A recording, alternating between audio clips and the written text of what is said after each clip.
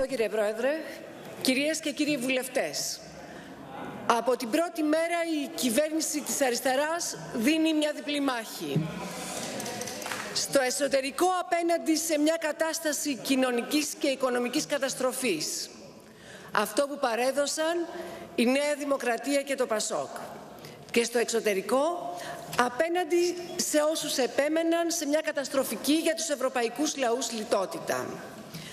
Συγκρουστήκαμε και υπερασπιστήκαμε το δίκαιο της ελληνικής κοινωνίας. Το αποτέλεσμα ήταν η συμφωνία του Ιουλίου του 2015, μια συμφωνία που απέχει φυσικά από αυτό που θα θέλαμε, αλλά διαμορφώνει τις προϋποθέσεις για την έξοδο της χώρας από την Επιτροπή και τα Μνημόνια το 2018. Μιλάτε για τέταρτο μνημόνιο. Δεν υπάρχει τέταρτο μνημόνιο. Αν προσθέταμε στα μνημόνια σας τις δικές σας αξιολογήσεις και τα μέτρα λιτότητας που τη συνόδευαν, θα χάναμε το μέτρημα, συνάδελφοι και συναδέλφισες της Νέας Δημοκρατίας και του ΠΑΣΟΚ. Σήμερα συζητάμε εδώ το αποτέλεσμα της δεύτερης αξιολόγησης αυτής της συμφωνίας. Και είναι μια αξιολόγηση που φέρνει μέτρα και αντίμετρα, με μηδενικό δημοσιονομικό αποτέλεσμα. Τα μνημόνια σας, συναδέλφοι σας και συνάδελφοι της Νέας Δημοκρατίας και του ΠΑΣΟΚ, είχαν μόνο μέτρα λιτότητας. Και οι αξιολογήσεις στα μνημόνια σας επίσης είχαν μόνο μέτρα λιτότητας. Πράγματι προκαλεί μεγάλη εντύπωση η στάση της Νέας Δημοκρατίας και τους ΠΑΣΟΚ σε αυτή τη συζήτηση. Κακοδιοικήσατε αυτή τη χώρα για δεκαετίες. Διευρύνατε τις ανισότητες και φέρατε μια ανάπτυξη δίχως θέσεις εργασίας. Ακόμη και στα χρόνια της φούσκας, στα χρόνια της λεγόμενης οικονομικής επιτυχίας και ανάπτυξης, να ξέρετε, το μεγαλύτερο μέρος των πολιτών τα έβγαζε πέρα δύσκολα. Αντί να δώσετε δουλειές και λογικές αμοιβές, μοιράσατε δάνεια και δέσατε τον κόσμο με τα δάνεια. Καταργήσατε δικαιώματα των εργαζομένων, φέρατε τις ελαστικές σχέσεις εργασίας, τα μπλοκάκια, τη μερική αποσχόληση. Ονομάσατε επιτυχία τα χρηματιστήρια και τα μπόνους των τραπεζών που ήταν μόνο για λίγους. Και στη συνέχεια, όταν το μοντέλο σας κατέρευσε, όταν οι ξένοι σύμμαχοί σας σας εγκατέλειψαν, αφού σας είχαν πρώτα δέσει με τις μίζες, βάλετε πάλι να πληρώσουν τα λαϊκά στρώματα οι πιο αδύναμοι πολίτες. Δύο χρόνια τώρα μας ζητάτε κάθε φορά να υπογράψουμε ό,τι μας δίνουν για να τελειώνουμε και μας κατηγορείτε για καθυστερήσεις. Διαπραγματευόμαστε όμως και μάλιστα σκληρά και φέρνουμε τώρα την πρώτη συμφωνία που έχει μέτρα και αντίμετρα. Μέτρα ανάπτυξης που εξισορροπούν πλήρως τα μέτρα λιτότητας που έχει δημοσιονομικό αποτέλεσμα μηδενικό. Το δικό σας μεσοπρόθεσμο σχέδιο προέβλεπε πρωτογενές πλεόνασμα 4,1% μέχρι το 2031 και έρχεστε τώρα με θράσος και λέτε όσα είπατε σε αυτή την αίθουσα. Πράγματι, η συμφωνία με τους θεσμούς περιλαμβάνει φορολογικά μέτρα που θεωρούμε ότι είναι περιτά. Μέτρα που θεωρούμε ότι δεν είναι σωστά, αλλά για τα οποία το Διεθνές Νομισματικό Ταμείο ήταν ανένδοτο. Εμείς επιμείναμε για την ορθότητα των δικών μας θέσεων. Θεωρούμε αυτά τα μέτρα περιτά γιατί η μεγάλη υπέρβαση των εσόδων που καταγράφηκε το 2016 και συνεχίζει φέτος δικαιώνει τις δικές μας οικονομικές προβλέψεις σε αντίθεση με αυτές του Ταμείου. Εμείς φέρνουμε αποτέλεσμα γιατί δεν κατασπαταλάμε τα χρήματα των Ελλήνων πολιτών, εμείς βάζουμε την τάξη στα χάλια που αφήσατε. Όμως η επιμονή ορισμένων χωρών να παραμείνει το Διεθνές Νομισματικό Ταμείο στο ελληνικό πρόγραμμα έκανε τη, τη θέση τους στη διαπραγμάτευση πολύ ισχυρή. Και η στάση της αντιπολίτευσης ήταν σε αυτή τη γραμμή. Να κλείσουμε τα θέματα βιαστικά και μόνο με υποχωρήσεις. Αλλά επιμείναμε και εμείς τις δικές μας θέσεις. Και αυτό που καταφέραμε είναι εξαιρετικά σημαντικό. Είναι να αποδεχτούν οι θεσμοί ένα πακέτο θετικών μέτρων, τα αντίμετρα, που εξεδερώνουν πλήρως την αρνητική επίδραση των μέτρων στο αναπτυξιακό αποτέλεσμα. Συνεπώς το πακέτο είναι δημοσιονομικά ουδέτερο και αυτό ήταν η δική μας προϋπόθεση για να δεχτούμε αυτό που ζητούσε η άλλη πλευρά. Θα χρειαστώ λίγο χρόνο, κυρία Πρόεδρε. Παρακαλώ, κύριε Πανάτσιο, πόσο χρόνο θέλετε; Τρία λεπτά τουλάχιστον.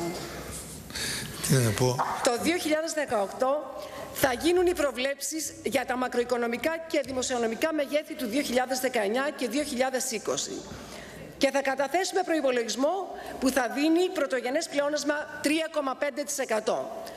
Αυτός ο προϋπολογισμός θα περιλαμβάνει υποχρεωτικά και τα αντίμετρα, γιατί ήδη από το 2016 το πρωτογενές πλεόνασμα που πραγματοποιήθηκε ξεπερνά το στόχο του 19 και του 20.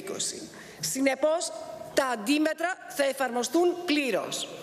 Θα απογοητευτείτε κυρίες και κύριοι της αντιπολίτευσης που είστε πιο απεσιόδοξοι και από το Διεθνές Νομισματικό Ταμείο που βλέπετε παντού καταστροφή.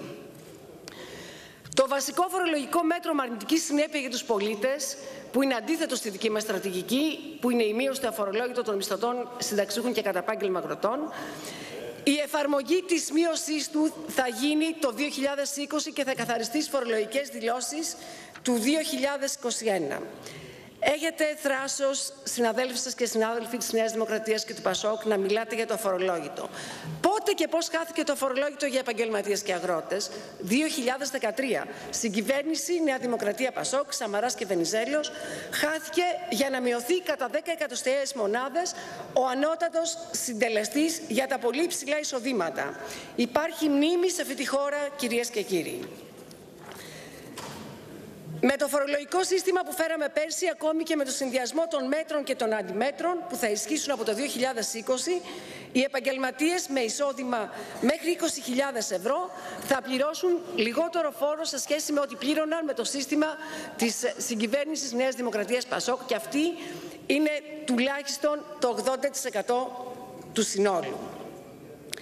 Συμπεριλάβαμε στα αντίμετρα τη μείωση του κατώτατου φορολογικού συντελεστή από το 22% στο 20% για εισοδήματα έως 20.000 ευρώ και τη μείωση της ειδικής εισφοράς αλληλεγγύης σε όλα τα κλιμάκια. Η εισφορά αλληλεγγύης καταργείται πλέον για εισοδήματα έως 30.000 ευρώ.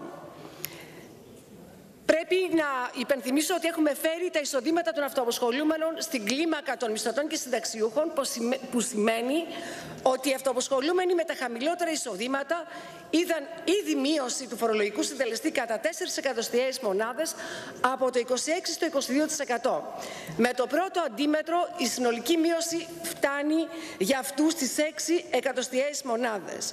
Στα νομικά πρόσωπα μειώνουμε το συντελεστή φορολόγησης από το 29% στο 26%. Περιμένουμε οι επιχειρήσεις και ιδίως οι μεγάλες επιχειρήσεις να επιστρέψουν αυτό το μέτρο στην κοινωνία με επενδύσεις και θέσεις εργασίας.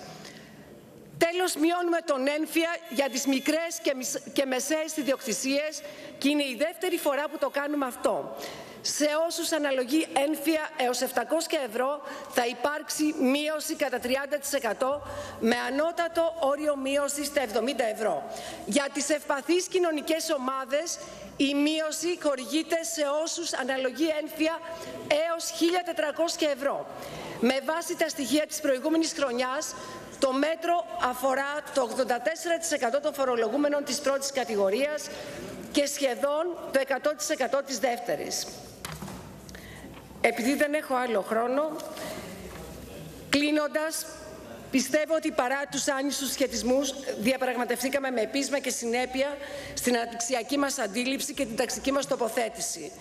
Πιστεύουμε ότι το τελικό αποτέλεσμα μας δικαιώνει. Το συνολικό δημοσιονομικό αποτέλεσμα είναι ουδέτερο και τα αντίματρα κατορθώνουν να αποκαταστήσουν σε πολύ μεγάλο βαθμό τις απώλειες που προκαλούν τα μέτρα. Η δική μας στρατηγική στόχευση αποτυπώνεται στο σύνολο των θετικών μέτρων. Η ταυτότητά μας βρίσκεται μέσα στα θετικά μέτρα των ελαφρύνσεων και της αύξησης της κοινωνικής προστασίας και των δικαιωμάτων του κόσμου της εργασίας. Ο στόχος μας παραμένει η συνολική αλλαγή του μείγματος πολιτικής. Αυτό αποτυπώνεται και στη συμφωνία που φέραμε. Αυτή λοιπόν τη στρατηγική μας στόχευση τη γνωρίζει η αντιπολίτευση. Αυτό φοβάται, αυτή είναι και η διαφορά μας. Ευχαριστώ. Ε, σύμφωνα με την απόφαση της διάσκεψης των Προέδρων, οι βουλευτές μιλούν 7